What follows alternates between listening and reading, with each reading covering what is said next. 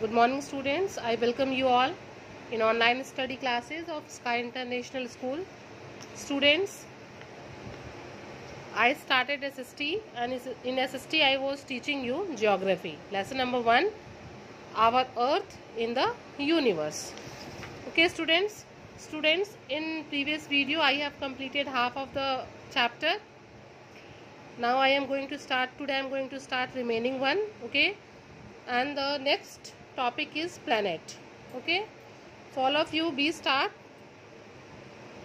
now let's start the word planet is originally a greek word which means wanderer जो planet है वो एक greek word है और जिसका मतलब क्या होता है wanderer the planets are spherical in shape but vary in composition and size जो planets होते हैं वो spherical shape में होते हैं सारे planets but वो composition में वो किस किस चीज़ से मिलके बने हैं और उनका जो size है वो different होता है unlike stars they are opaque bodies with no heat और लाइट ऑफ़ देयर ओन ये स्टार्स की तरह नहीं होते हैं, ये ओपेक बॉडीज़ हैं, इनके आर पार रोशनी नहीं जा सकती है और इनका अपना हीट एंड लाइट नहीं होता है। They are visible because they reflect the light of the sun ये हमको इसलिए दिखाई देते हैं क्योंकि ये सूरज की रोशनी को रिफ्लेक्ट परावर्तित करते हैं। They also rotate on rotate और spin on their respective axes at different speeds और ये अलग अलग प्लैनेट्स अपने एक्सिस पे अलग अलग स्पीड से रोटेट करते हैं। All planets spin in an anti clockwise direction from west to east जितने भी प्लैनेट हैं हमारे, उसमें से एक दो को छोड़ के जितने भी सारे प्लैनेट्स हैं, वो सब एंटी वाइज घड़ी की सुई की विपरीत दिशा में वेस्ट टू ईस्ट जो है वो रोटेट करते हैं। Venus and Uranus are exceptions as they spin in the opposite direction यही वो दो प्लैनेट हैं जो बाकी के ऑपोजिट डायरेक्शन में ईस्ट टू वेस्ट रोटेट करते हैं, ठीक है? Each planet also takes a different time period to complete one revolution around the sun और सारे प्लैनेट्स को सूर्य की एक परिक्रमा करने में रिवॉल्यूशन में डिफरेंट डिफरेंट टाइम लगता है चिल्ड्रन क्योंकि ये अलग अलग ऑर्बिट्स में होते हैं और अलग अलग अलग ऑर्बिट्स का अलग अलग साइज़ होता है। Out of the eight planet of our solar system the first four are inner planets Mercury Venus Earth and Mars जो हमारे सोलर सोलर सिस्टम में एट प्लैनेट्स हैं, उसमें से शुरू के चार प्लैनेट्स को हम इनर प्लैनेट्स कहते हैं। They are made up of rock which is why they are called terrestrial planet चूँकि वो रॉक्स चट्टानों से बने हुए हैं, इसलिए हम उनको टेरेस्ट्रियल प्लैनेट कहते हैं। टेरेस्ट्रियल मतलब स्थल होता है बेटा। The outer planets include Jupiter Saturn universe and Neptune यानी कि लास्ट के जो चार प्लैनेट हैं they are mainly gaseous in nature वो गैसियस होते हैं, अपने नेचर में गैसेस के बने हुए होते हैं, और इसीलिए हम उनको जोबियन प्लैनेट्स कहते हैं। All the outer planets have rings around them जितने भी आउटर प्लैनेट्स हैं, इनके चारों तरफ़ छल्ले हैं। Mercury is the smallest planet in the solar system Mercury जो है, हमारे सोलर सिस्टम का सबसे छोटा प्लैनेट्स है। It takes only eighty eight days to complete one revolution and nearly fifty nine days to complete one rotation इसको सूर्य की परिक्रमा करने में अट्ठासी दिन लगता है, जबकि अपने एक्सेस पे रोटेट करने में इसको फिफ्टी नाइन डेज़ लगता है। Venus is the hottest planet in the solar system जो हमारा सेकेंड प्लैनेट है इनर प्लैनेट में से वो इनर प्लानट से या फिर अगर हम गिने तो मरकरी के बाद वेनिस का नंबर आता है, जो सेकेंड प्लानट है, वो सबसे हमारा हॉटेस्ट प्लानट है। A blanket of sulphuric clouds and gases in its atmosphere trap its heats इसका जो एटमोसफियर है, वो सल्फ्यूरिक क्लाउड से बना हुआ है, जो क्या करता है? वो हीट को ट्रैप करता है और जैसे ग्रीन हाउस इफ़ेक्ट में बेटा हीट बाहर नहीं निकल पाता है, ठीक उसी तरीके से इसमें, इसके एटमोसफियर से हीट निकल नहीं पाता, इस वजह से ये बहुत गर्म रहता है।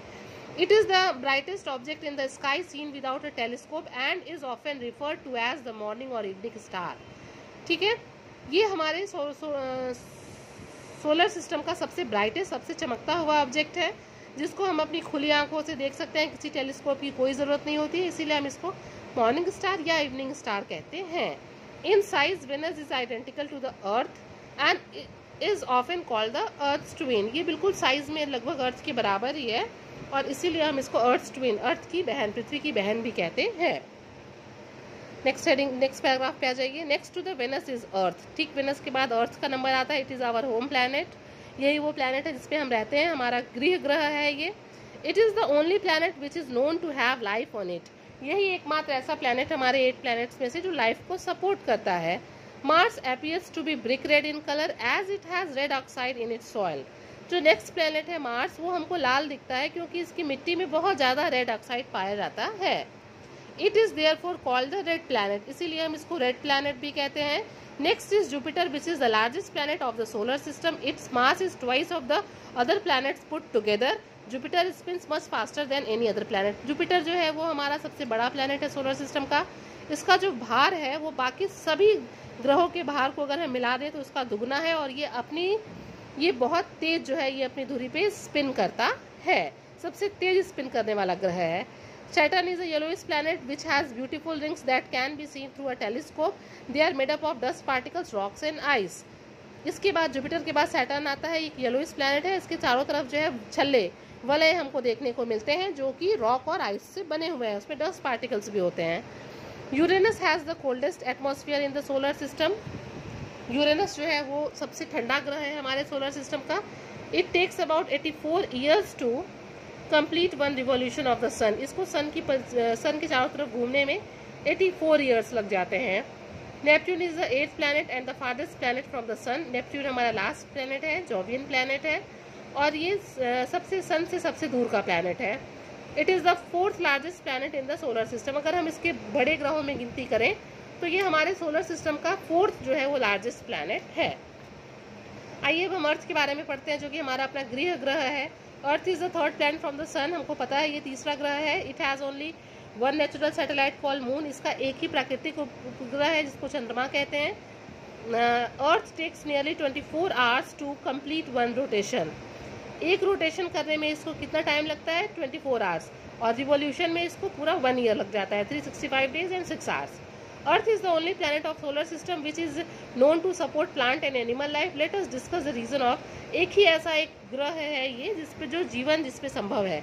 आइए हम देखते हैं कि इस पे जीवन क्यों संभव है। इसे इसमें क्या क्वालिटीज हैं कि इसमें लाइफ जो है वो है यहाँ पे possible Earth is located at the optimum distance from the sun and is neither as hot as Mercury nor as cold as Neptune बेटा ये एकदम अनुकूलतम दूरी ऑप्टिमम डिस्टेंस अनुकूलम, अनुकूलतम दूरी पे है सूर्य से। ना ही ये मरकरी के इतना गर्म है और ना ही नेपच्यून के इतना ठंडा। The presence of liquid water over 71 percent of its surface makes the planet appear blue in colour from space it is therefore called a watery planet और ब्लू प्लानट हमको पता है कि पृथ्वी के इकहत्तर परसेंट भाग पे पानी है, इसीलिए स्पेस से ब्लू दिखता है और इसीलिए हम इसको वाटरी प्लानट या ब्लू प्लानट भी कहते हैं।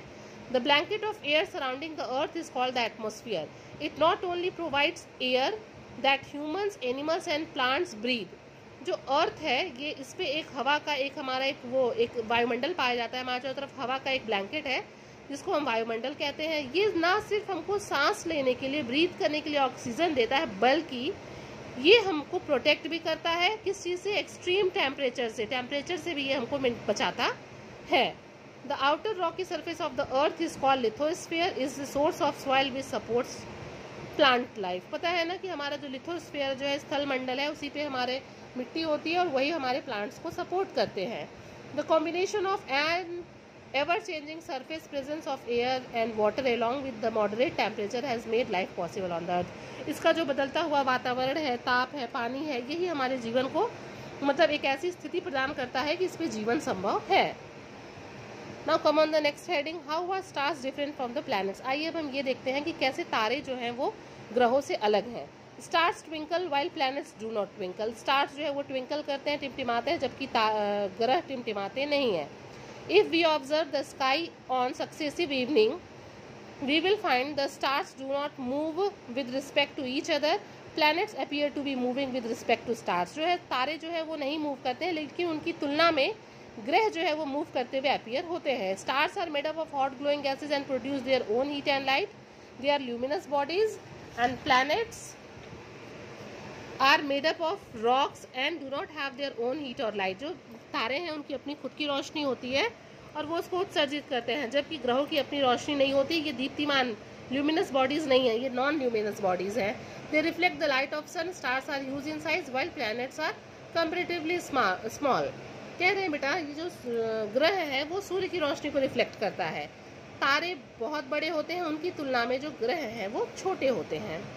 The next heading is satellite the word satellite means attendant it is a small celestial body और a man made device that revolves around the planet ये या तो नेचुरल होता है या मैन मेड डिवाइस है, जो ग्रहों के चारों तरफ़ घूमता है। Celestial celestial satellites are also called natural satellites are moon because they have existed in space for millions of years ठीक वही बात मैं कह रही हूँ कि जो हमारा सेलेशियल सैटेलाइट्स है, उसको हम नेचुरल सैटेलाइट्स भी कहते हैं। मून हमारे अर्थ का नेचुरल सेटेलाइट्स है, जो कई मिलियन ईयर्स से हमारे सोलर सिस्टम में है। Just as planet revolve around the sun as satellite moves around its host planet जैसे प्लैनेट्स सन के चारों तरफ़ घूमते हैं, ठीक वैसे ही जो सैटेलाइट्स हैं, वो अपने होस्ट प्लैनेट्स के चारों तरफ़ घूमते हैं। They do not have their own heat और light but reflects the light of the sun इनका भी खुद की रोशनी नहीं होती, ये सूरज की रोशनी से दिखते हैं, उसको रिफ्लेक्ट करते हैं। Every natural satellite also rotates on its axis her natural satellite भी अपने एक्सिस पे रोटेट करता है। Almost all the planets in the solar system have one और मोर नेचुरल सैटेलाइट्स। हमारे सोलर सिस्टम में भी आ, हर प्लैनेट के लगभग नेचुरल सैटेलाइट्स हैं एक या दो केवल मरकरी और विनस के ही नहीं हैं। Machine place by humans to revolve around host planets और आर्टिफिशियल जो मशीन प्लैनेट्स के चारों तरफ़ लगाए गए हैं वो हमारे आर्टिफिशियल सैटेलाइट्स हैं। They are placed for various purpose वो कई कारणों से लगाए गए हैं like telecommunication radio and television transmission observation and forecast of the weather क्या करते हैं वो? हमारे टीवी पे प्रोग्राम्स का जो है वो प्रसारण करते हैं। हम उसी की वजह से रेडियो पे न्यूज़ सुन पाते हैं। इसी की वजह से हम फ़ोन पे बात कर पाते हैं। और वेदर फोरकास्ट भी इन्हीं आर्टिफिशियल सैटेलाइट्स की वजह से हम पहले से इसका अनुमान लगा पाते हैं। Children this is the second part of the this chapter our earth in the universe in this part I am completing the chapter till here rest of the part. Now I am going to prepare in next part third part of this video. Okay students till then you all stay home and stay safe. Thank you